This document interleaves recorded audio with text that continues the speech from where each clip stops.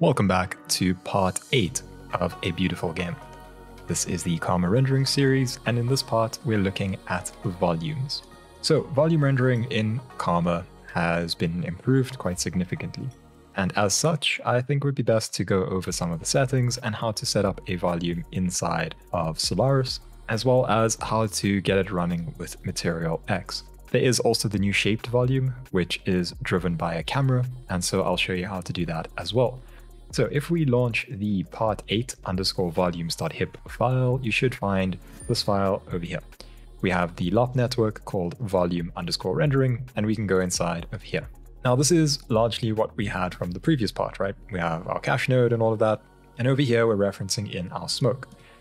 So this smoke over here, if you have no material, so I'm just going to move my material library over to the side and just take a look at what this looks like. If we render with no materials, you'll end up with an extremely boring looking smoke, just like that. As you can see, it does bring it in and it does use the density, but it's nothing special, right? It's just this plain gray and we don't have any control over it. So to edit the smoke, what we can do is we can drop a material library, as we've done before. And over here, we can dive inside, and I'm going to start with just the general Vex-based way of doing it.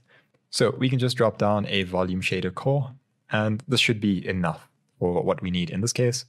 And over here, you can just rename it to vex underscore volume, and then we can apply it. So we can go up a level. And over here, under our material VOP, we're just going to use that vex underscore volume, assign it to a geometry. And over here, we're just going to grab our smoke. So the smoke over here, we can just grab and drop it into that geometry path.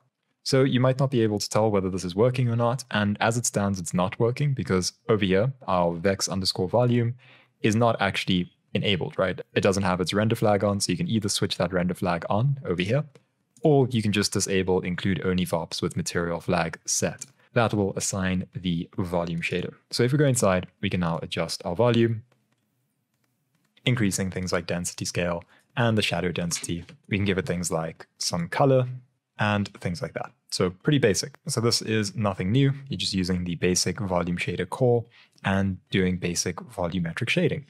Now, if you'd like to do this with Material X, it is a little bit less intuitive. So let's go ahead and drop down a Material X volume. Not the volume material, but just the MTLX volume. So we're going to call this MTLX underscore volume, and we're going to change what's being displayed. So over here, MTLX underscore volume on our material var.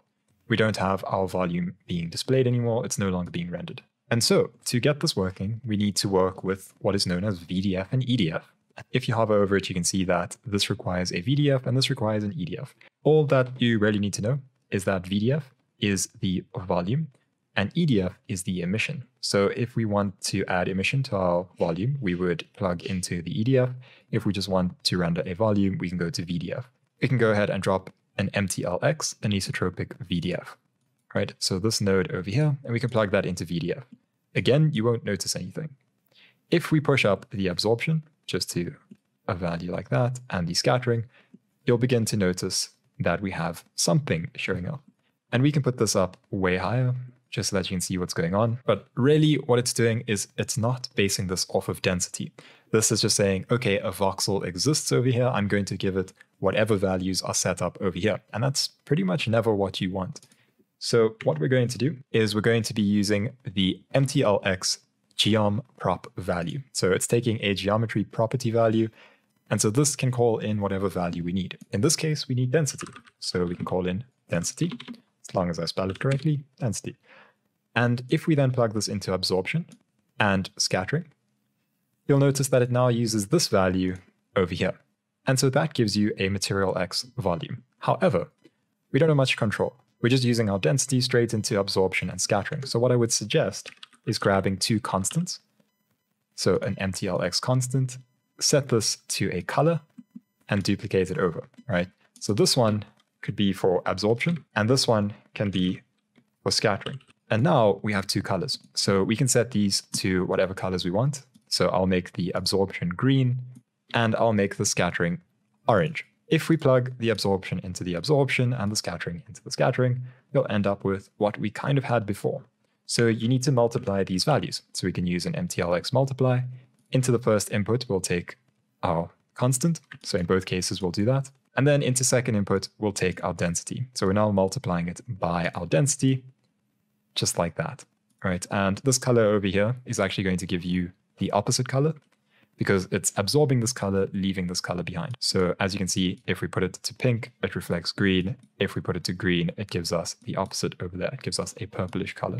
So if you want your smoke to be more dense, you can still multiply it. So you can use an MTLX multiply, plug it straight in after the color node, and then just push this up. You could do the same for the bottom one. All right, that gives you a much more dense smoke. So let's give this some more realistic values. So we'll do something like a blue scattering and perhaps also a blue absorption. That'll give us some of that brown over there and blue in those areas over there. You can also drop the multiplication on these just to something like 2 each. And that's how you go about setting up a material X volume, right? So whatever colors you want on here, you can go for, but that's the basic idea. Okay, as for rendering, so if we go over here to our Karma Final, and we take a look at things like limits, if your smoke is seemingly too dark, you can push up your volume limit. What it'll do is it will allow more light bounces inside of your volume. That will take longer, obviously, to render your volume, but it does allow more light to pass through. So that's all there really is to setting up a Material X volume. The other thing that I want to show you is the new shaped volume. So I'm just going to disable my render over here, and I'm going to jump up a level. Over here at the object level, I'm going to drop down a geometry node, and I'm just going to call this shaped volume. And if we dive inside, we can drop a volume node. Now there's a new option on this volume node. Before it would just generate a volume. So if we set this value over here, just up to one, and we give it a name, so we can call it density, that creates a density with a value of one uniformly. Now, over here, you can see that the center or size is defined by this value over here. And so obviously, if you increase that size, it grows and you have uniform sampling at the bottom for a higher resolution volume. Now, the new option is from camera. However, we can't access the camera straight from our LOP network. To do that, we can use a LOP import camera right over here. And over here, we need to choose our LOP path. Now, do be careful because you can end up with infinite recursion occurring. So when you bring in your camera, your volume is going to use it. But then you're going to take that volume and put it into the LOPNet. Now, if you're calling the node at the bottom over here, then what's going to happen is you're going to find the volume. The volume is going to look for the camera and it's going to search at the end over here. Basically, you're going to end up with infinite recursion, right? It's going to find the volume, jump to the end, find the camera, but the volume is defined by the camera. So to avoid that, you just need to be careful about where you choose your LOP path to be. So over here, we'll choose our camera one, and I can actually show you this. So I'll show you the wrong way to do it and then the right way to do it. So if we choose LOP path and then the primitive path, and we just drag over our camera into here, then we go inside here and from camera, set our camera. So it's that LOP import camera. You'll notice that we now have that volume over there, and it is based on the frustum of the camera. If we go to our volume rendering in our LOPNet and then do a SOP import, and I'm just going to call this shaped underscore volume, we can plug this in after our material library over here. And what we can bring in is our shaped volume. And as you can see, we have this error. If we middle mouse, we have infinite recursion in evaluation. So to fix that, you go to your LOP import camera, and instead of choosing the last output of the node, you just need to choose the camera, right? So we're choosing the actual camera as the LOP path, and in the primitive path, we're once again choosing the camera.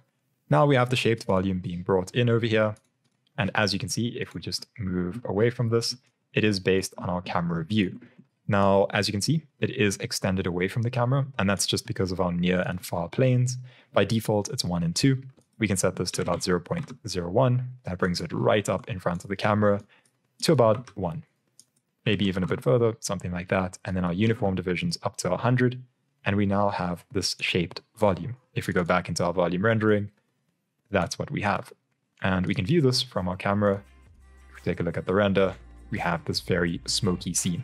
Of course, you can apply a material to this and kind of scale down the intensity of that volume but the cool thing is this is shaped to your camera, so it's really saving on the heaviness of the volume because it is shaped to the camera. You're not getting anything that's out of view. So that's just some interesting workflow tips for working with volumes in Solaris and with Karma. And that's how you can set up your volumetrics.